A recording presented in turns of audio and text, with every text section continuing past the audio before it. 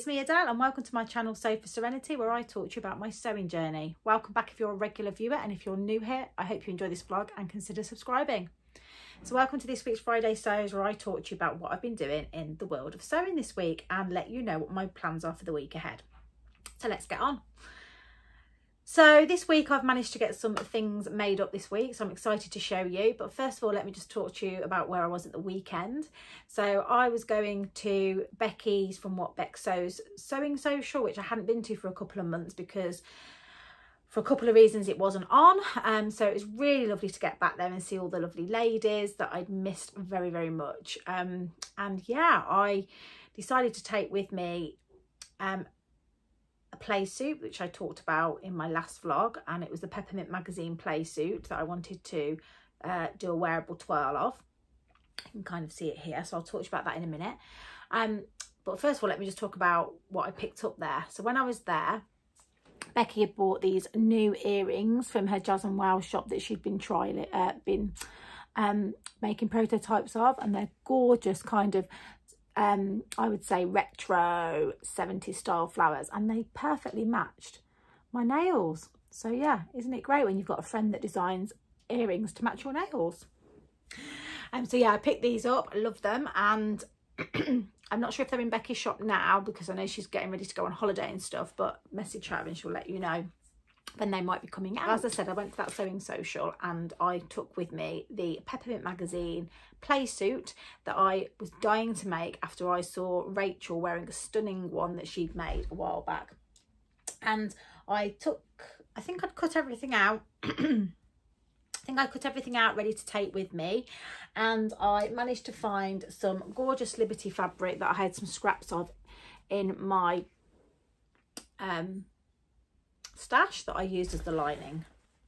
So now this isn't quite finished yet and I haven't got any photos of me wearing it but I've made most of it up. I've just got to put the pockets on and the reason why I hadn't finished it was I just wasn't sure where to put the pockets. So I've been playing around with that but I've got to say this is Peppermint Magazine play suit is by In the Folds and I'm a big fan of In the Folds. I love their patterns. Um, really really simple instructions really clever construction. And yeah I just really really love it. Now this has got as I said it's got a lining in it which is lovely. It's got tie straps and it's also got a zip an invisible zip. Now it is invisible but the problem is I didn't have a navy zip so it's kind of not invisible. Um, but yeah I'm very happy with my invisible zip how it went in. The lining's lovely and I'm really really happy with it. It's a lovely little play suit now I did size down because I was wanting to make this for my holiday um so it does fit me um well but it isn't as oversized as I would like it. Um I will get that finished up this week and take photographs of it to show you but I made it in this lovely viscose linen slub which I'm a big fan of and I just need to hem it as I said so hem it put a label in and just pop the pockets on is all I've got left to do. And the label that I'm going to put in it is this label from what Vicky made that says sewing, sewers sewing. Let me just open it. Oh, lovely, lovely.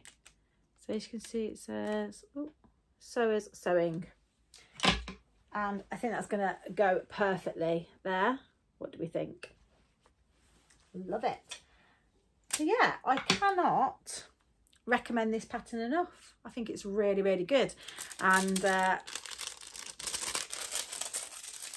I would also say as well, if you did size, if I'd chosen the size that would fit me now for this oversized nature that I like, you probably wouldn't need the zip in it either. Um, but yeah, you'd need to check the sizing first. But yeah, I could probably if I made this in the next size up, I could probably get this on without zip, I would say. Um, so that's something to, to bear in mind. Yeah, I mean, I'm in love with it, love it. And who would have thought it, me in a plane. So I also took with me to the Sewing Social a Sirocco that I'd started making in a lovely jersey that I got. Um, now I'm a big fan of the Sirocco by Deer and Doe. Made a couple of them in the past However, they are when I was a bit smaller, so they don't fit me now. So I was keen to make another one. So I printed off all the pattern, sized up, And I even made a sway back adjustment because I know now from making a lot of things that in order to get the um, the cleavage right, I need to um, do a sway back, otherwise it sits too low down. So I did all that. And unfortunately, it fitted me perfectly on the bottom, but was too big on top around the bust area. And now I usually do, you know me, I usually do persevere and get the fit right. But there's just so much to do in this. I was, it was probably about two sizes too big in the bust area. It fit me all perfectly around the back, but it was just too big here. Um, and it was gonna, it was gonna be too much of an adjustment. So I thought, you know what? I know Becky is very similar size to me, but has much bigger boobs than me. I'm much more flat chested. Um, and I knew this would suit her so well, but I know she shied away from the pattern um, because she was conscious about the stomach area, which I know she shared before. But she loves um, a nipped in waist and I just know how flattering and how good I I feel in my Siroccos. So I thought, you know what, I'm going to take it with me, see if Becky wants it, um, or if it fits Becky and if she likes it, etc. Anyway, she tried it on and it looked wonderful. She looked really, really lovely in it, and needless to say, she had it. Now I hadn't hemmed it and I hadn't put the the one sleeve on. So she took it away and finished it off. And if you check over on her instagram i'll try and find a picture and put it in um she's wearing it there and she looks lovely in it. And even though it's like darker colors i think it still suits her because um of the mix of colors in it. So i think i see a lot more Siroccos in her um future. And i know now that i just need to size down on the top part and grade to the waist which in hindsight, I think that's what I did with my smaller versions, but I just forgot. Anyway, so yeah, so that was um, a sewing fail that turned into a sewing win for someone else. so the last thing we did at the Sewing Social was go to the wonderful Aladdin's Cave fabric shop that um, Becky has near her Sewing Social and I did pick up some fabrics. And the first fabric was one I had been looking for. I've been looking for some white broderie anglaise because I want to recreate a look that I've seen in Tesco's, which I'll talk to you about in a second. Um, but I've been looking online and the, and the broderie anglaise that I've been looking at, there's some that was reasonable, but so the ones that I really liked were like £17 a metre, which is obviously quite a lot.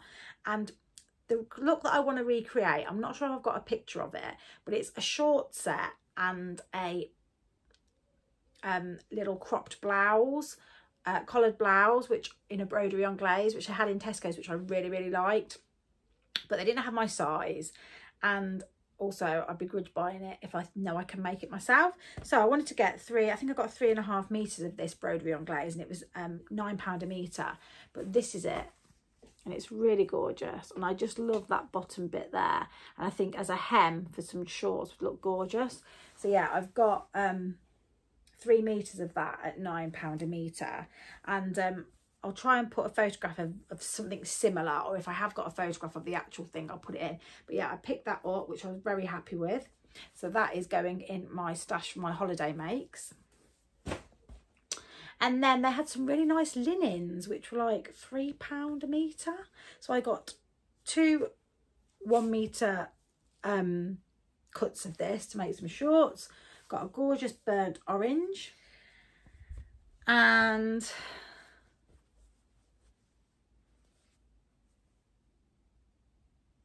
this lovely lilac colour, which is not normally my colour, but me and Becky both got some of this because we really liked it. But I thought it'd be a really nice pair of shorts as well. So I got that one. And actually, those colours look really nice together, don't they? I think they do anyway. And then the final fabric that I got is really not normally my cup of tea, but I I just kept looking at it I really liked it. And it was a big silky panel. Um, and I just feel like it would make a gorgeous kind of caftan and it's I'm going to hold it up. So at the very very bottom it's got at the very very bottom it's got like these beautiful like sequiny things at the bottom and then then it just goes normal it just has the pattern and then it goes into this red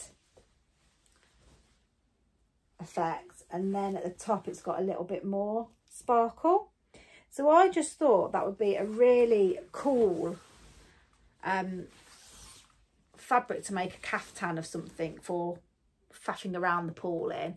Um, so yeah, I got the rest of what was on the roll there. I can't actually remember how much this was. Um, but yeah, I just really, really liked that. I thought the colours were really gorgeous and very, very bright and contrasting, which I know is what my kind of look is. So yeah, I got that as well. So those will be coming soon in my summer plans, summer holiday wardrobe plans video, which I keep threatening to put out there. okay, so moving on to my other make that I've made. Yes, I've made something else this week. Now, I have been thinking about making these shorts for quite a long time and they are a tessuti pattern. I've had it for ages called the Ester shorts. And these are the shorts that I'm thinking of using to recreate the look in the broderie anglaise, okay? But I wanted to twirl them first. And um, the main reason I wanted to twirl them is because they're not elasticated waists. They're a waistband with a button. They come in size 6 to 16 and I wanted to give them a twirl. And I had this fabric that Becky gave me um, ages ago. She had a little offcut left, about a metre and a bit left over of this Lady McElroy. Uh, it's like a water, oh, I don't know if it's a, is it, it looks like a water lily flower, but not sure, but yes. So really, really like that. So I decided to make the shorts in this. Now I made the size 16 um, and actually I think I could already size down because they are quite roomy in the waist area. Um, so the Ester shorts are described as a classic butterfly short pattern, features back darts, a narrow waist, a flattering side seam that sits forward from the hips towards the front. The shorts are finished with a side invisible zipper and one button. It's perfect for all sewing levels and it's a super quick make. Now I was dubious, I'll just show you the line drawings. Beautiful. Now I was dubious because I thought hang on a minute, there's an invisible zip, that's not going to be quick. but when I put the invisible zip into the play suit, I was actually really impressed with what a good job I did of it. And I think I'm getting much better at invisible zips. And I thought, why not? Let's give it a go. So I can confirm it is a very, very quick make. And um, I'm going to stand up and show you now. Just let me move this out the way. So these are excuse I'll get my belly out to show you but let me just move this back do the little step to stand on so just balancing on a box at the moment but they're a bit creased because I've just been sat in them. But you can see they are a little bit big on me here.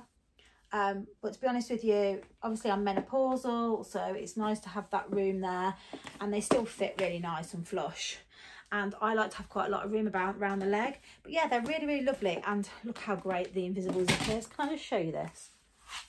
Look at that so impressed with my invisible zip and it does it does up without any problems. A bit peeved off with the buttonhole. The buttonhole went wrong as, as always. Um, worked perfectly on the scrap fabric and then as always didn't work on the, the first time I did it so I had to unpick it. But yeah I just love those shorts. I think they're really gorgeous. Um so yeah I think I could probably take a little bit out. I probably could size down to the 14 but I'm very very happy with those and they're super gorgeous really like them and the darts are the darts are in the back there and then yeah quite just the, the side seams come forward a little bit I think I could probably take a bit in actually because they're probably not as forward as they are on the on the picture. So yeah, I could probably definitely take some more out of there. What do you think? Ester shorts, gorgeous, gorgeous, gorgeous. Now, so I as a wearable twirl, I'm really, really happy with these. And I think I'm definitely going to go on to cut out my broderie anglaise in them. Um, I'm going to probably um, give it a couple more weeks um, I need to, um, on my weight loss journey, um, I got weighed this morning. I've lost another pound and a half, so really happy with that. I um, just need to find the right pattern for the top now. Yeah, I'm thinking Gilbert shirt, but not 100% sure. And I've not made that, so I probably need to twirl that as well. Uh, but yeah, I can see a lot more shorts in my future. And yeah, I'm really happy that I'm getting better in invisible zips.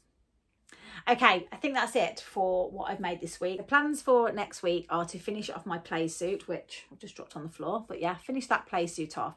And then I'm really, really, really want to make the new Fabric Godmother pattern. The Fleur. I don't know if anyone's seen it, but basically Fauve, who was on the Sewing Bee, she posted a picture where she'd been gifted the pattern and she'd made it in a gorgeous um i think a linen viscose with fruits uh, oranges all over it and it's very much like the dupe of the Ganni shirt i'm probably saying that wrong um but yeah absolutely loved it and it's really up my street so i think they're doing a shirt and a, a blouse of it i definitely really want to make that i haven't thought about what fabric i'm going to make it in yet but that is definitely on my list. Now, I think that's out this weekend. So I'm pretty much 99% sure I'm going to buy that, get it printed out make it up this week. So watch your space for that. I've also got some fabric coming from So Confident, which I'm excited to show you um, for my next make, but that's a little bit of a secret at the moment. Um, so when that comes next week, I'll share my plans with you around what I'm going to be doing for that. And then finally, I hope to have it here already, but it's not been delivered yet. The Beyond the Pink Door box is going to be delivered today according to the postman. So i'm looking forward to receiving that and seeing what beautiful treats are in store for another thing that i just wanted to say is thank you for all the lovely words of kind congratulations that you all gave me for um my promotion. Uh, means a lot. And yes thank you. It does feel like everything's going quite well this year. Very very happy about that. Um, and I'm excited to start my new job. Don't start till the 1st of July though so that's got a little bit of breathing space.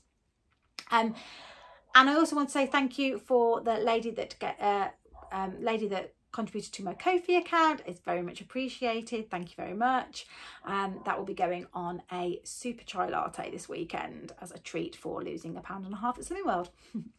okay, right, I'm going to leave it there. I hope you enjoyed this vlog. If you don't subscribe already, please consider subscribing. It doesn't cost you a penny.